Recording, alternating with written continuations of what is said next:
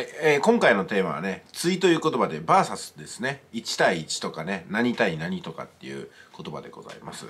まあ、文に寸すると書いて、あの、対という言葉なんですけども、まあ、その言葉の原理はまあいいとしてですね、えー、前回吉根さんが、鱗、魚辺に鱗と書いて鱗だと思いますけども、この鱗についてお話しされてました。まあ、人間には鱗がないよねってことなんですよね。まあ、人間は優れているようであって、他の生物に比べて、まあ、優れてない部分もある。まあ、そういった一朝一夕がありながらやっていくわけですけどもこれは別の見方をすると魚のような特徴がないから人間は魚の特徴に変わるものを知恵で編み出したとも言えますよね。もしくは対っていう言葉なんですけども人間一人と象が戦ってどちらが勝つかというとやっぱり象が勝っちゃいますよね。人間と虎だったらどうですかね。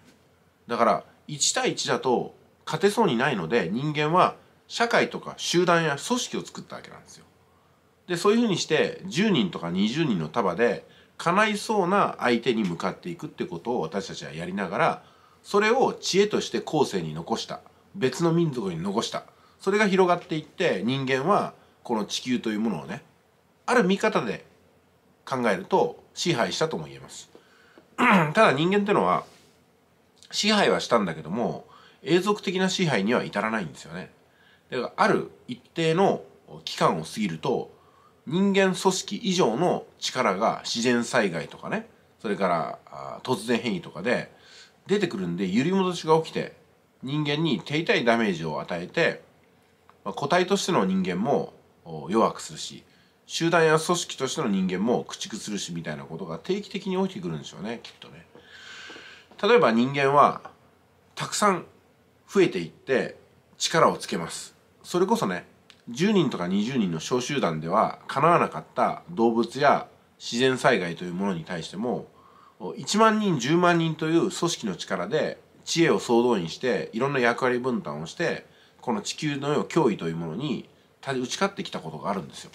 でも人が増えると何が起きるかっていうとエネルギーや食料や水の不足ってことが起きますよね。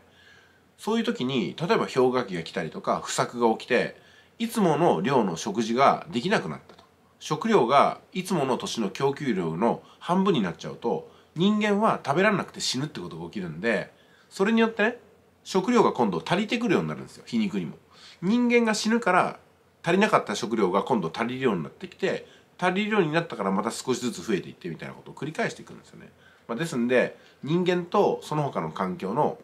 この対をなす勢力図っていうのは常に変化して変わり続けるってことですよね。うん、だから永遠の王者っていうのはなかなかいないのかなというところでございます。まあ、人間にはいろんな欲望がありね恐れがあるわけなんですけども、うん、人間に対して向かっていくものがあるとしたら動物であり自然の脅威であり地球そのものであると思いますけども時にはね人間が人間に対立することもあるんですよ。その場合は人間は自分の弱点をよく知ってますからその弱点をいかに使うかによってその勝負は決まるのかなと思ってます。まあ、例えばね今あの重大な戦争が起きてますけども、うん、なんかねなかなかやらない方法ですけどもなかなかやらない方法であるんですけどね私はねちょっとね人道的なことを抜きにすれば戦争を止めるものすごく単純な方法はあると思うんですよ。例えばねあのまあロシアならロシアでその国の中に住んでいる外国人っていると思うんですよ。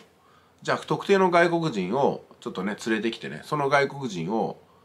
吊るし上げて何の罪もない人ですよ。それで例えばその国の人まあその国がね特定しにくいんですけども、うん、まあ例えば A っていう国があるとしますよねそしたら A っていう国の人を吊るし上げてきてその人をまあなんかね公衆の面前でこうものすごく脅威にさらさせてねいわゆるこう人質にとって脅すみたいなことをチクチクやったらさすがに多くの人はお手上げになっちゃうんじゃないかなと思うんですよ。そういうのを見殺しにできるほど人間は強くないし世論は同情に目先の同情に触れるんでそうやったらねなんかねうんどうなるんでしょうね。核の脅威で脅すのも一つの手かもしれませんけども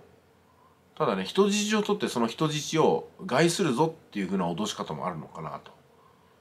そうすると少数をもってね多数を征服することもできるのかなと思うんですよ。まあ、もちろんね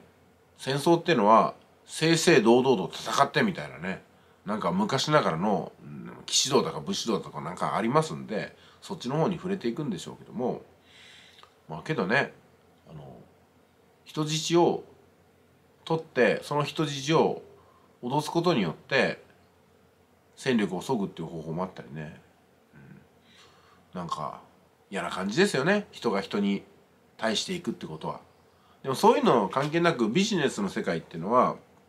あのやっぱり頑張ってね人のためになった人が生き残っていく世界だと思うんですよ。だから悪いものを高く売った人は淘汰されていなくなるわけですよね。詐欺ってる人はいつまでも人の前に顔を出せなくなるわけですよ。でも正直に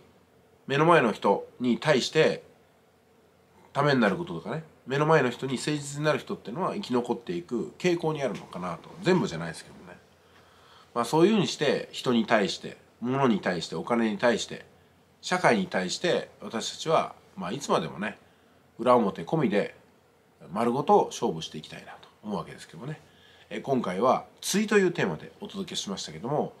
あなたの対をなす存在はどんなものがあるでしょうか？男性には女性でしょうか？大人には子供でしょうか？そういう、うん、対の存在ではなくてまた新たなるね対の存在二項対立って言いますけどもそういったものがこの世の中に 失礼しました。たくさん見つかっていくんじゃないかなと思いますね。ちょっと喉痛めてきましたね。いってらっしゃい。